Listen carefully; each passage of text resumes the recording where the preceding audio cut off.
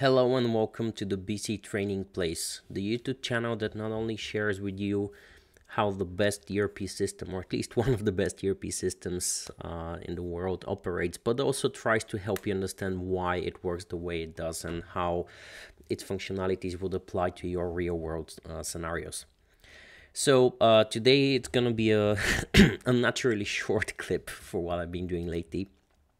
Uh, but uh, as you might be used by now, I'm I'm actually creating those based on uh, scenarios that I find people ask questions and need explaining. So it's also kind of a shortcut for me to share with other people uh, instead of having to explain the same thing a million times. So something which hopefully all of you are using are the built-in auditing functionalities of Business Central. Um, and there's a few, and I might actually do a separate clip to explain all of them, but uh, the most important and most commonly used one is the changelog, um, which is a very handy tool, which long story short is something you enable here and before you enable it or even after you do you can go through a setup where you essentially see all of the tables in the system at least the ones that you um, may want to track for some reason um, and for each of them, you have an option to select whether you want to log insert or modify or delete operations. And there are some more detailed setups on down to field level, so you can try to include only specific fields in this log. So once you've enabled this, however, it starts creating these entries. Um, and as you can imagine, they can quickly start piling up. So right now I uh, these are just some system ones which are created uh, whenever you just perform regular operations uh, like setting up uh, the initial users and so on. Um, so I haven't actually activated to track anything uh, specific. But what you may also want is periodically to clear out these entries because they will quickly um, basically clutter your storage. Um, and in other videos, we've discussed that you actually have a limited storage, especially when you're in the cloud. Um, so as you can see here, I have a few sandboxes and my um, out of the box storage is 80 gigabytes, which will be increased in addition uh, by any paid license. And of course, you can buy additional if you want. Uh, the fact of the matter is, and if you're wondering why I see zero here, because this is just the trial environment. So you can, of course, buy as much storage if you want. Um, and by the way, Microsoft is nice enough then even if you um, over uh, use the storage, so like I exceed what's allowed for me, they won't actually stop your database, but they will block you from using uh, various operations. Uh, like adding new users and so on and so forth, and you won't be able to create a new sandbox and so on. um, so uh, storage is kind of important and yes you can buy more but it's actually quite expensive. Um, so you shouldn't be keeping data that you don't really need. Um, and you can't just go and delete the changelog entries. So if you come over here you see there is no delete button actually.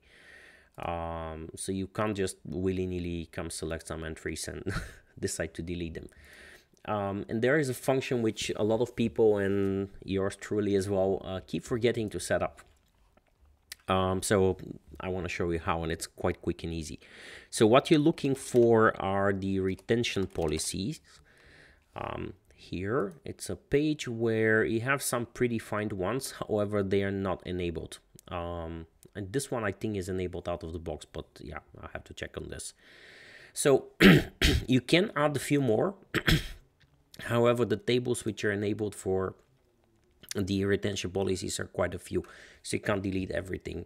Um, I think you could potentially enable other tables, but that would require customizing. So you have just these guys here. And of course, these are the, the tables with log entries that you might want to periodically purge. So in addition to the change log entry, the job queue log entries are another very good example. And uh, job queues are uh, and again there'll be another video explaining in detail but the functionality which can automatically perform actions in the background. And the log entries are which tell you every time this function is running. So you might have some function which you want to run every five minutes or so or a few times a day or even if it's just once a day can easily imagine how thousands of entries can be accumulated. So you you you want to delete these as well, um, as well as potentially the report inbox, um, which is something you can generate like reports you can schedule um, to be automatically generated and just wait for your in your inbox on your desktop. Yeah, sorry, Role Center, uh, so system desktop. Uh, same for the email box and so on. So you get the idea. You can basically set up any of those regular uh, tables that keep accumulating data where you normally don't need it for a very long period of time. So what do you do here? Uh, and I'll use the changelog entry and I specifically want to explain it because it sounds like you should be able to just hit enabled, right? And then, right, it's working. Well, actually no, because the out-of-the-box setup that they provide is actually quite limited. So there's a few things you want to set up uh, for each retention policy. Um, and even for the existing ones like the changelog entry, you actually have to add some more setup before actually uh, using it. So in addition to selecting the table, um, what you have here is the retention policy tab, where you have several options. One is to uh, decide to make this a manual one. So manual means basically uh, the system will skip it if you schedule um, a job queue to run all the um, retention policies. So there is a job queue which can be scheduled, um, and I think that's actually created automatically. So if you go to the job queue entries, you should see this one, yeah, retention policy job queue. So this will essentially just run through all of the uh, retention policies which are not set to manual and perform the function that you would normally say by uh, perform by clicking apply manually.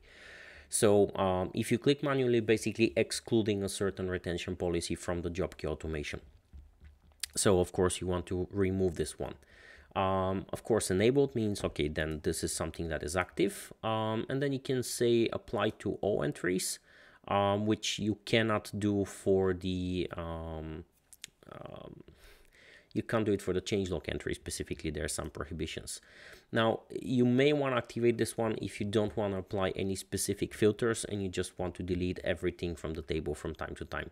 Um, and that's fine. You can do that. Uh, but in the record retention policy, you actually normally have to select some filters. And basically what you're doing here is you, you're applying criteria and rather than just deleting all the entries older than whatever period of time you can say for a certain type of entry I want to apply a certain uh, period of time and for another entry I want to apply a different period of time so these first two lines are here by default um, and I think actually maybe even the third one. Um, and you can't change them. So even if I want to I can't really delete the line. Uh, you get an error message. However what you and as you can see they're basically saying well protected yes. Um, so it means any entry which is marked as protected that's a system field which means it's an entry created by the system and you never want to delete it uh, for special reasons. And then the other one is uh, monitor sensitive fields. Uh, then all of the monitor sensitive fields are uh, not being you can't delete them basically or rather they're deleted every 28 days and for these ones every one year. So these are just default ones. System there's nothing you can do about them. Uh, the third one I'm fairly certain I've added. Uh, so I think I should be able to delete it. Yep so this is what you would normally see when you set up a new business central company um, in a new environment. Um, and if you just enable this one and it starts running, it basically doesn't do anything because what you've essentially said is, well, I don't want to apply this policy to all entries, so this is off. And then only for the specific entries of which uh, correspond to these filters, the system will apply these retention periods. I'll explain this in a second.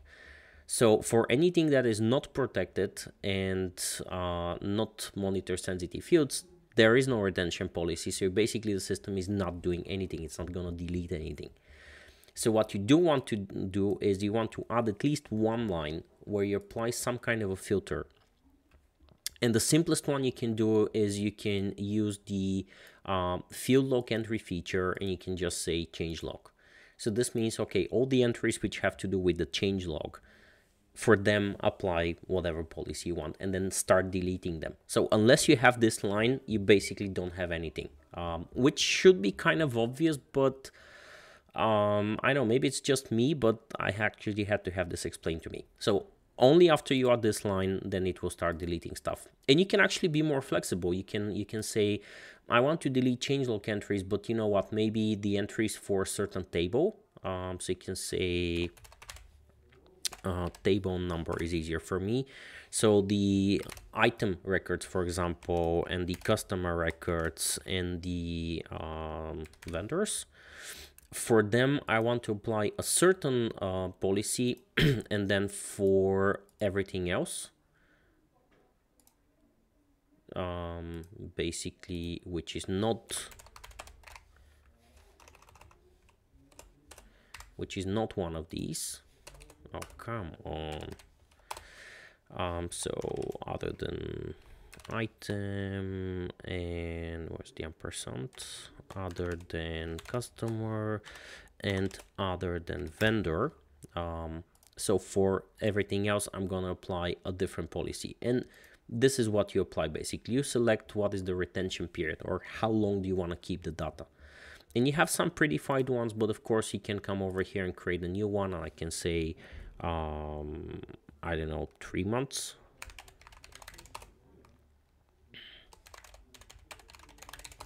And you basically select from a period here and have three months. If you want you can say custom and then just remember you have to add a minus. This means from today apply the state filter and then whatever date you find that's how uh, how you find them.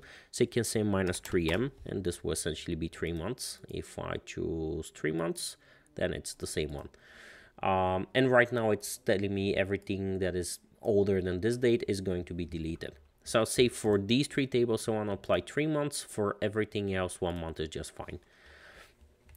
You enable this and you can decide to enable specific lines also. Uh, so you can enable, disable these as you want, and then you click enable. So once you've done this, now the job queue which is running, and if for some reason it goes away, um, you can actually, wait, there used to be a button here. Yeah, um, you can go and say job queue entries um, and even if this disappears there's a there's a way to recreate it. So basically this is set up let me see it's running every day um, I think I might have modified this one it's like running at least once a day um, uh, at night.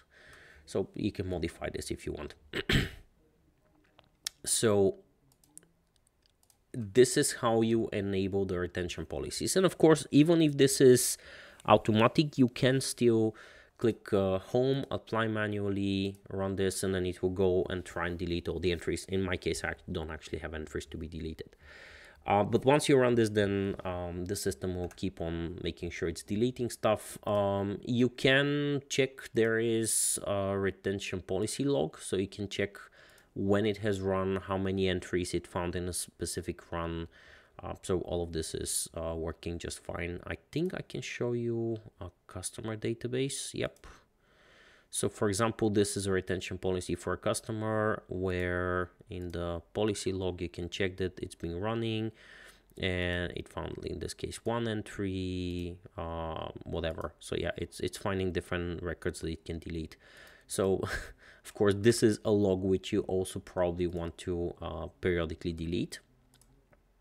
So uh, this is why you have another uh, retention policy log entry, a retention policy to delete it. So it's kind of weird, but yeah, um, you just run these. So a very simple function, um, not very hard to set up very easy to miss uh, based on experience and then you end up with huge databases and trust me if you miss this then uh, you're gonna run into trouble.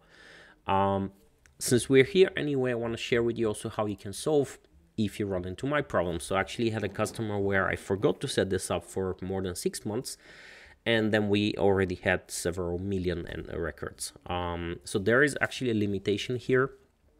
Uh, the system will kill the session if it tries to run for too long. And i think there's a normal um, like it, it deletes relatively easily about 250,000 records max. Beyond that you actually get a warning message if it's if it finds more than that.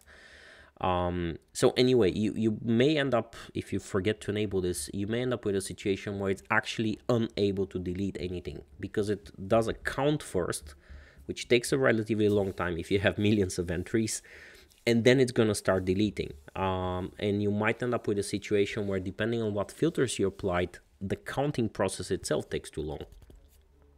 So what you can do then is you can use these filters and then you can basically say hey i want to apply a filter and you can actually directly use the entry number. So in my case what i did was i went to change log entries I found, of course, you may need to personalize. So I added the entry number, which would be helpful.